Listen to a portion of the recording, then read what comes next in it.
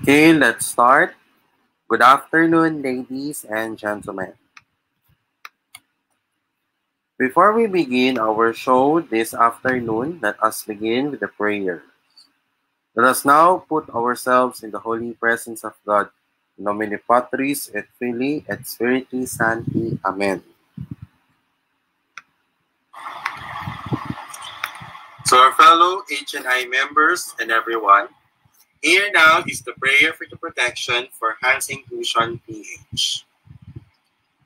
God our Father, we implore you to ask for the enlightenment and rescue, the repentant success of the organization Hands in Inclusion Filipinas.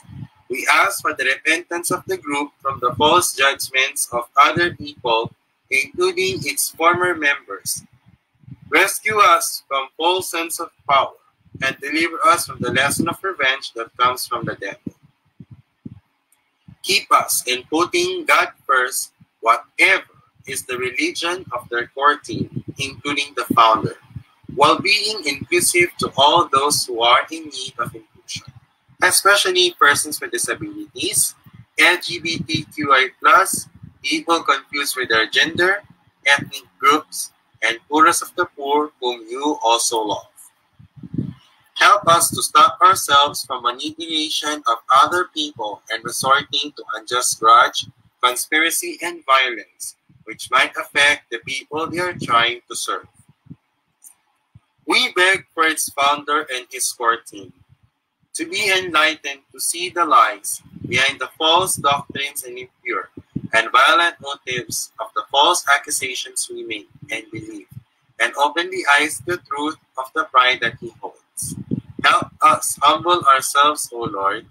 Help us to realize that fear, envy, anger, and unforgiveness comes from Satan, and he may he stop whatever pride that he is holding. Please allow us to know ourselves a child of God. We also pray for those people who are blamed by Hands Inclusion Filipinas to repent from the sins they are guilty of without resorting or believing in any false accusations made by either them or any enemy they encounter. Forgive us our accusations in any form and from all the wrong timings. In your eyes, the organization. This we ask in your name. Amen. Our Lady, Health of the Sick, pray for us. Saint Joseph, pray for us. Saint Roch, pray for us. Saint Lorenzo Ruiz, pray for us. Saint Pedro Calungsod, pray for us. Saint Clare of Montefalco, pray for us. Saint John the Baptist, pray for us. Our Lady, help of all Christians, intercede for us. Saint Monica, pray for us and our family and friends. Saint Augustine, pray for us and our family and our friends. Saint Michael the Archangel, Saint Pope St. Pius X and Pope St. John Paul II, rescue us from our unintended wrongdoings. God the Holy Spirit, have mercy and change the heart of everyone. All organizations and all the people who formerly worked with the organization who made terrible mistakes, and those the people who took part in a conspiracy to falsely accuse anyone and hands in inclusion. Amen. Our Father, who art in heaven, hallowed be thy name. Thy kingdom come, thy will be done on earth as it is in heaven. Give us this day our daily bread, and forgive us from our trespasses, as we forgive those who trespass against us. And lead us not into temptation, but deliver us from evil. Amen. Hail Mary, full of grace, the Lord is with you. Blessed are thou amongst women, and blessed is the fruit of your womb, Jesus. Glory, Holy Mary, Mother of God, pray for us sinners, now at the hour of our death. Amen. Glory be to the Father, and to the Son, and to the Holy Spirit, as it was in the beginning, is now, and ever shall be, world without end. Amen. In nomine Patris, et Filii, et Spiritus Sancti. Amen. Sama sa oras at panahon. The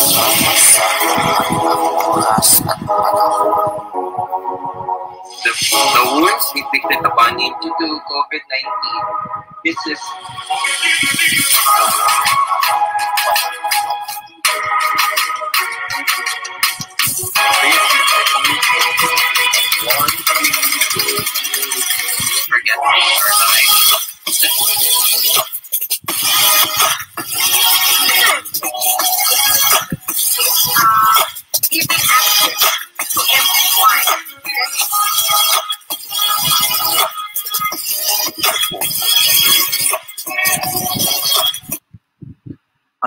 pananaw at opinyon ng pag-uulat ng mag-uulat sa programang ito ay hindi ang pagunahing posisyon o pahayag ng pamunuan ng organisasyong ito.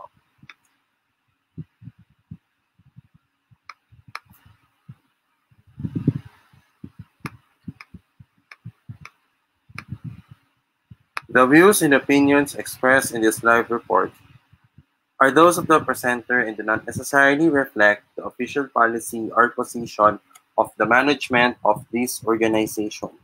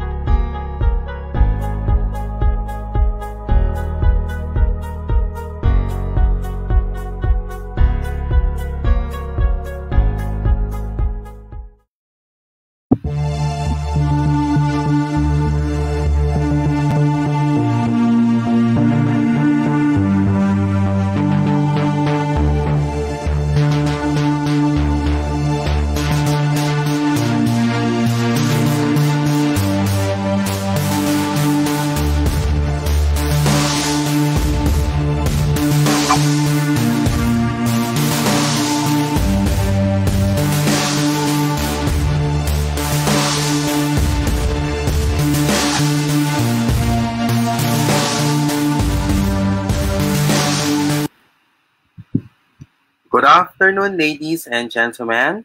Welcome to Editorial. Today is Wednesday, August 25, 2021. I am your host, Carlos Miguel Kanahashi, and we are broadcasting simultaneously on InkluRadyo and on the Hands in Inclusion Philippines YouTube channel.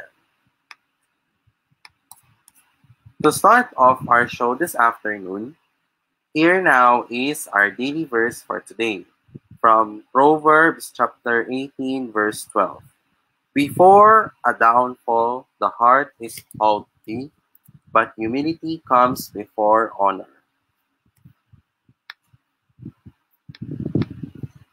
We shall commence our topic proper in just a moment, and we will be back after these commercials. Now, this.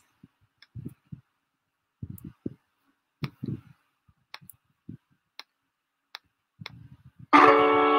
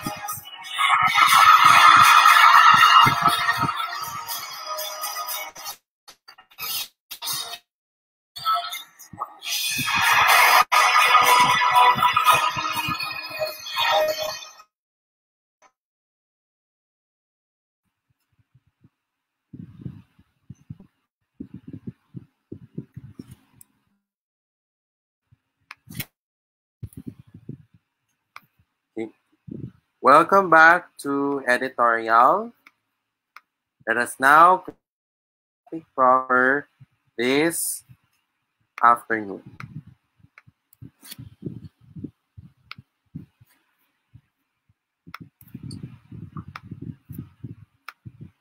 Hi everyone, good day to all of you. This is my pre-recorded presentation proper editorial for Wednesday, August 25, 2021. I am Carlos Miguel Kanahashi from Hands in Inclusion Philippines. In this pre-recorded presentation proper, we will discuss to you about Filipino films. The Filipino film industry was one of the busiest and bustling film communities in Asia, releasing an average of 350 films a year, making Philippines second to Japan in terms of film productions a year. So what is the essence? The Philippine theater is important and, and plays an important role on promoting Filipino culture and heritage. It showcases the and have. Furthermore, to entertain people and as well as imparts knowledge in telling a story in a creative way. Let us find out the history and the important milestones in our film industry in the Philippines. It was all started on January 1st, 1897. The first film screenings in the Philippines took place on this day. The title of the films shown were Man with a Hat, Scene from a Japanese Dance, The Boxers, and The Place the Opera. The films were projected using the 16mm Gaumont Chrono photograph projector at the Salon de Pertierra at number 12 Escolta, Manila. In the same year, in 1897, the Lumiere cinematograph was first introduced in the Philippines by a Spanish soldier named Antonio Ramos. In the 1900s, a resurgence of movie houses begins in the early 1900s, not only in Manila, but in provinces that already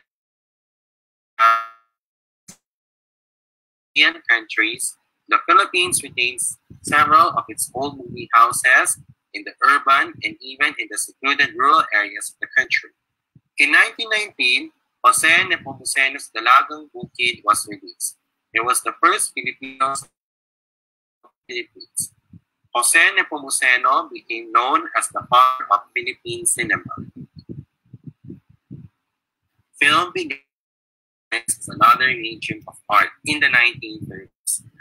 Stories from Philippine literature and popular theater were the main source of storyline and characterization.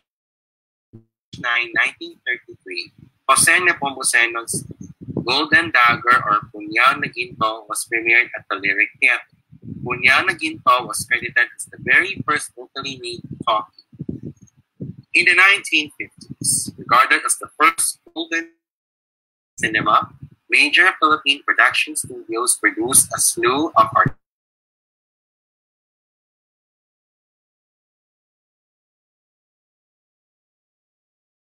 Notable of these was Genghis Khan, the first Asian film to be screened at the Venice and Cannes film festivals. At this point, the Philippine film industry averaged about 350 films per year, making the Philippines second to Japan in terms of number of film productions per year in Asia. 1960s. Filmmaking through monopolized studio system saw its end during the 1960s as the era gave way to new and independent film production outfits. Along these promising change came the introduction of new and different film genres for the local audience to explore. Examples include Western, musical, and musical sport. In the 90s, inspired the promising new wave of independent movies and filmmakers, local production companies resorted to producing hastily made low-quality and formulaic films due to increasing production costs, high taxes, censorship, and piracy. Despite this predicament, the film industry flourished and churned about 200 films per year. In the 2000s, local film release dwindled down to 50 per year as Hollywood films took over a big chunk of the Filipino film market at the beginning of the decade. Fortunately, the rise of the digital age in filmmaking swiftly made its way in the local industry, making it easier for independent filmmakers to produce films. Slowly but steadily, the local film industry its new footing in the digital age of filmmaking, which paved the, the proliferation of critically acclaimed films that caught the eyes of, of prestigious film festivals locally and internationally. Let's now move on to the 2010s era. The last 10 years saw Philippine cinema meet historical milestones in film.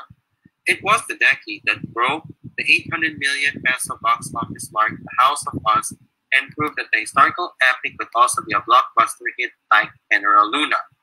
In the 2010s, we also witnessed the 100 year anniversary of Philippine cinema in 2019, which was incidentally the same year a small film called Hello, Love, Goodbye ended the decade on a high note with a record breaking box office of almost 900 million pesos. In 2010, we have a law to protect the film industry in our country.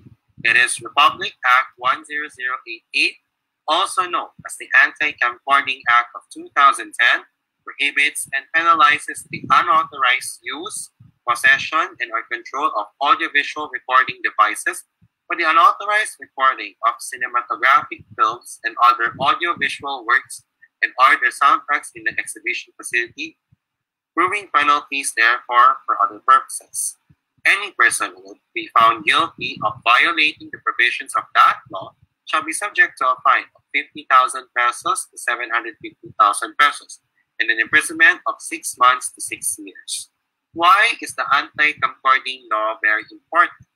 Well, first of all, this law has helped to revive the film industry and to improve the confidence of local and international filmmakers and studios alike.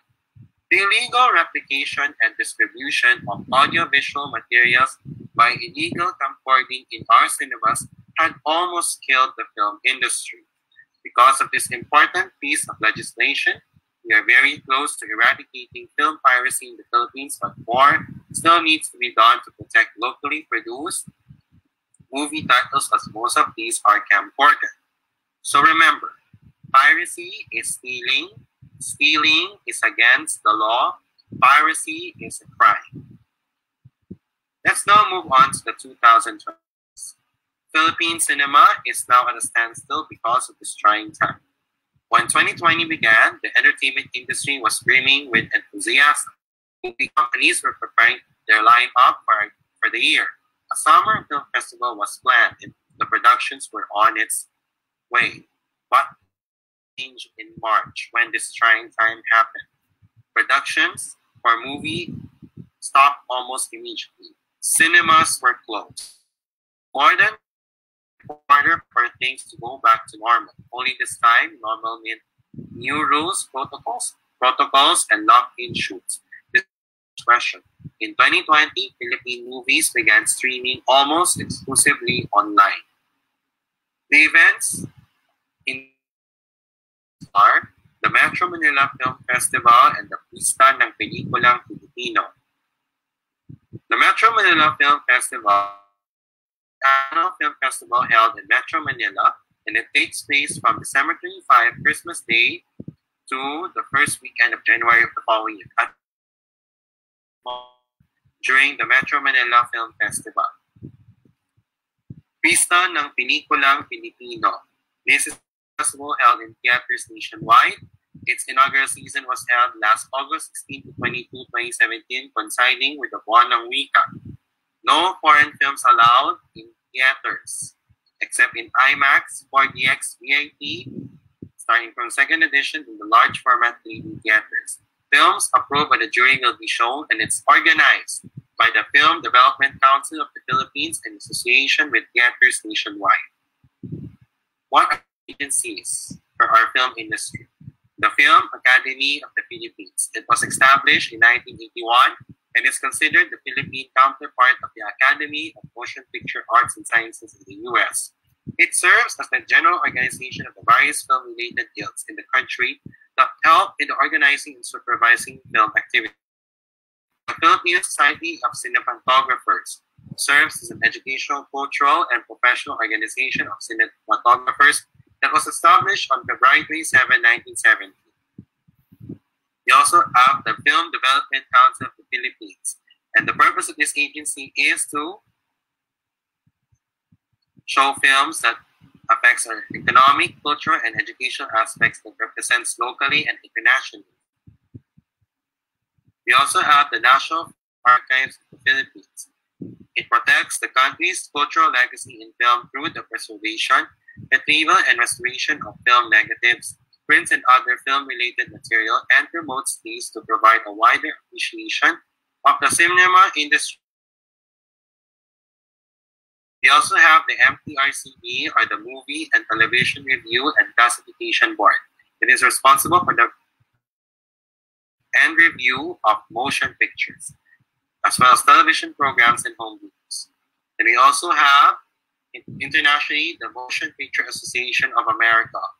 And this is the purpose of this is this agency helps us to combat piracy in the industry and other motion picture associations throughout the world as well.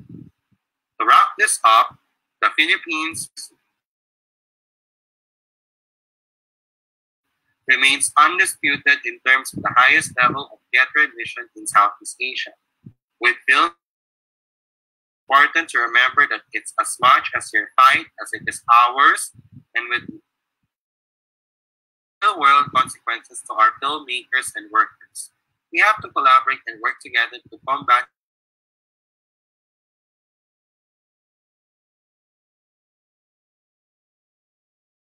everyone's consideration and cooperation. And let us continue the fight against film piracy as well.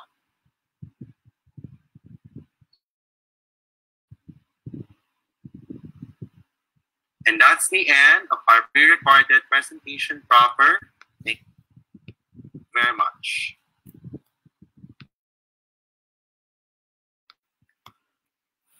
Okay. So guys, ang buhay natin parang sine.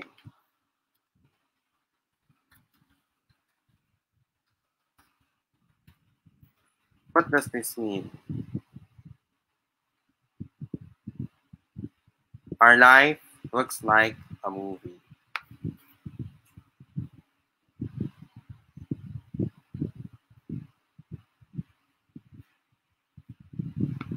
Movies that show show stories of lives, aspirations, and hope. And also, life is truly wonderful. Why? Because our life looks like a movie. Ang buhay natin ay parang sine. That's why movies are very important because it showcases our lives and also to show aspirations and hope as well. And also, as mentioned earlier, we must continue the fight against movie piracy. Because movie production in our country has been eradicated with pirate was was um, again rather movie piracy in the Philippines or movie production in this country. Okay, again, movie production in our country is also a big has a big impact on piracy. If piracy continues, this will ultimately lead to the death of the local film industry.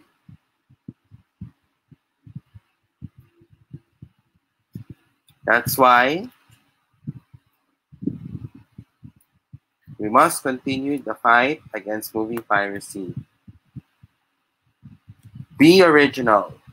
Buy, buy original and make sure it's original.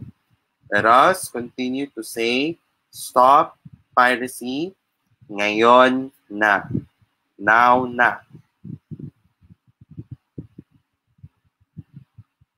And piracy will continue. thousands of jobs will be lost, studios will be closed, no new films will be made, and cinemas might be disappeared for good. That's why we need to patronize our Filipino and locally made films. Let us watch it in cinemas and other recognized digital platforms as well. And let us avoid camcording as well. And to patronize pirated or illegal copies of CDs and DVDs as well. Because this will have a great impact on the film industry in our country. And also, it will affect the development of film industry in our country as well. That's why be original and do things in an original manner. Ang buhay natin ay parang sine as well. Okay, that wraps up our topic proper this afternoon. Let us now move on to our announcements. For our announcements, well, first of all, we have some products for sale at the Hands in Inclusion Philippines online shop. We are selling the following products. Tote bags. If you want to buy our tote bags, here are the following sizes and prices. If you want the picture without text, sizes range from small to large and prices range from 220 pesos to 260 pesos. If you want a picture in the front with text at the back, sizes range from small to large and prices range from 270 pesos to 310 pesos. It's also available on Shopee with a price of 150 pesos. We also have our One Inclusion Nation t-shirts. Sizes range from small to quad XL and prices range from 325 pesos to 400 pesos. The available colors are white, black, blue, yellow, and red. It's also available on Shopee with the price of 275 pesos. For the first time, guys, Hands Inclusion Philippines will sell digital artworks made by its own artists. Sizes range from 8 by 10 inches to 16 by 20 inches. Prices range from 600 pesos to 1,750 pesos. If you want to have an acrylic glass, but it's optional, the charge would be 175 pesos to 500 pesos. Also, for our stickers, we include RES, 250 pesos, and the iniibig ko ang mga Pinay PWDs, which is 150 pesos. So how can we pay? Well, first of all, we will be very strict on payments. Payment first before purchase. We're accepting payments from GCash, Paymaya, Palawan Pawn Shop, and Cebuana Lhuillier as well. We will deliver your ordered products via the following courier providers. If you're living in areas in Metro Manila and its surrounding areas, it will deliver to you via GoGo Express, TokTok, Grab, Lalamove, and Mr. Speedy Philippines and the rest of the country it will deliver to you nationwide via LBC.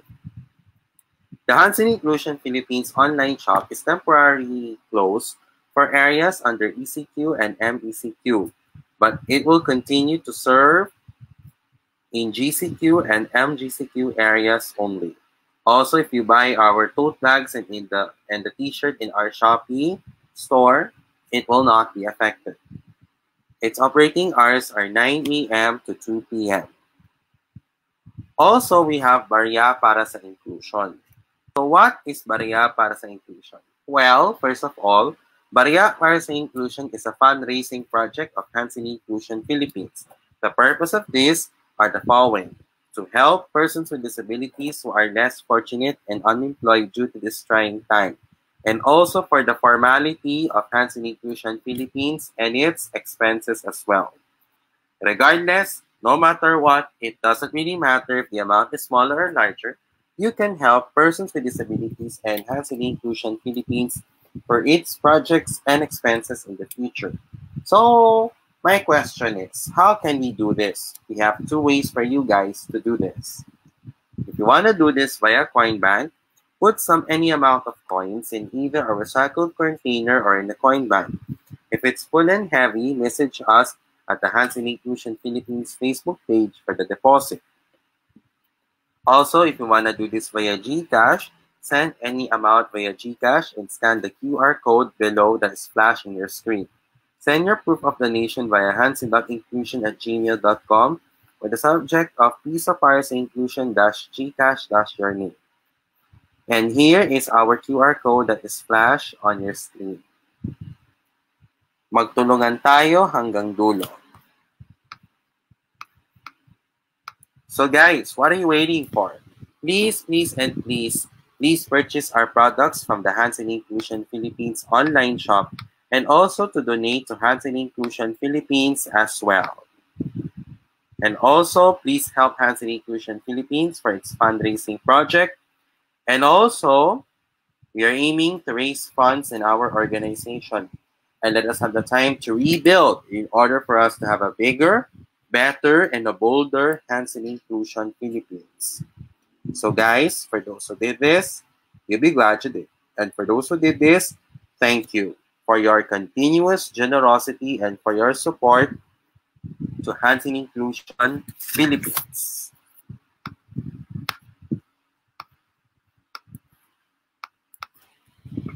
On Saturday, August 28, 2021, at 7 o'clock in the evening, Hands in Inclusion Philippines will have our online concert entitled Include Pilipinas Himig Inclusion 2021.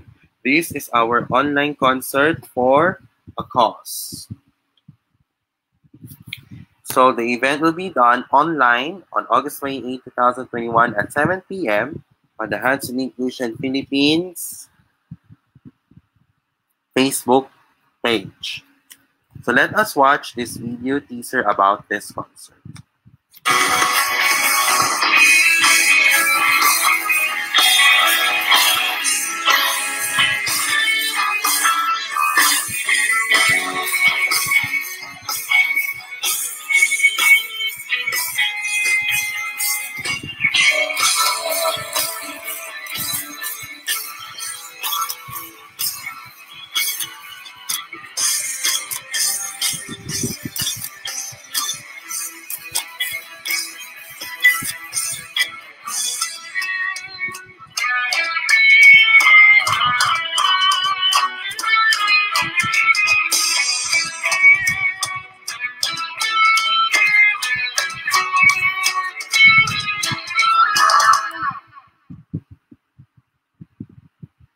Okay, this online concert is also for the benefit of Hands in Inclusion Philippines in preparation for its formality as well and its expenses as well. So guys, you only have three days to go before this event. So invite your family and friends to watch our online concert for a cause as well. Hands in Inclusion Philippines is looking for volunteer researchers, captioners, and YouTube uploaders. If you're willing to work as a volunteer, If you have a laptop in or desktop and a strong and reliable internet connection, committed to work, good attitude and character, and if you're a college graduate, send your resume at hansin.inclusion at gmail.com. This Saturday, August 28, 2021, we are culminating our Buwan ng Wika celebrations and the Filipino Heritage Month in Best Buddies Philippines. This is in collaboration with Archers for UNICEF and representing to you Magsayak Umawit on Saturday, August 28, 2021 at 4 p.m. And this is part of our Best Buddies, Best Buddies Philippines Saturday series of learning.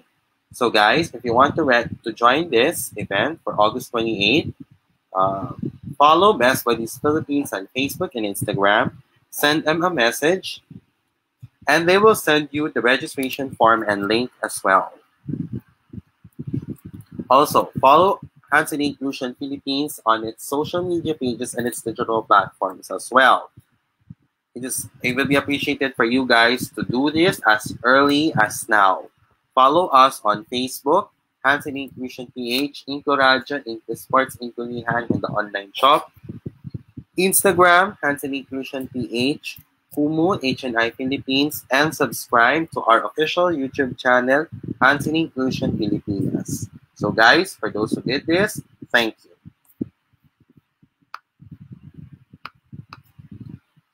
Okay, it's now the time for our shout outs and greetings as well. Also, for our birthday celebrants, I would like to greet happy birthday to Brian Pabustan and um, David Mitchell, happy birthday and expect the more birthdays to come. Also, I would like to welcome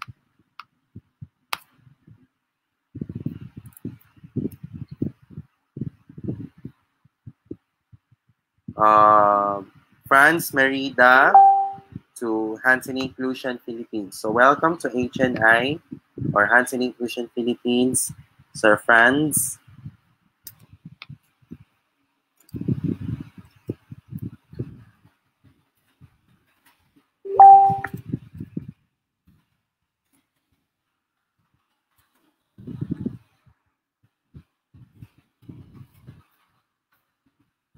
Also, I would like to say good afternoon and thank you to the following. To my family, good afternoon and good evening pala. Hi! To Hands in Inclusion Philippines, especially to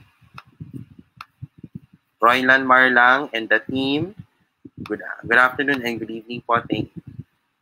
Uh, and thank you also to Best Buddies Philippines and Best Buddies Benil. Thank you po and good evening and good afternoon, rather. And also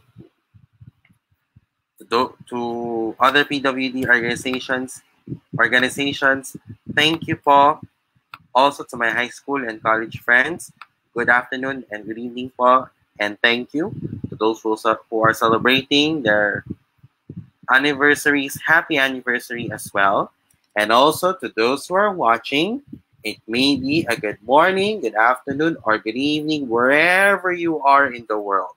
Sana nasa mabuting kalagayan ninyo. Kung hindi, meron kayong sapat na panahon para masiayos ang inyong kalagayan at kagalingan ninyo. In layman's term, you have the time to improve your mental health and your well-being as well. To those who are watching us on Into thank you. And if you missed this episode, it will be uploaded on the Hands Hansen Inclusion Philippines YouTube channel as well. Okay, that wraps up our episode for editorial for Wednesday, August 25, 2021. I will be back again tomorrow for the inclusive report.